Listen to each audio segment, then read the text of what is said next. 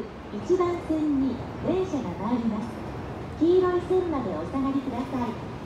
名古屋方面の中部国際空港行き一部特別車の特急です。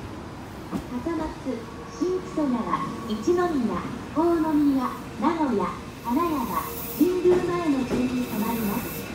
特別車は1号車2号車で座席が指定です。特別車には乗車券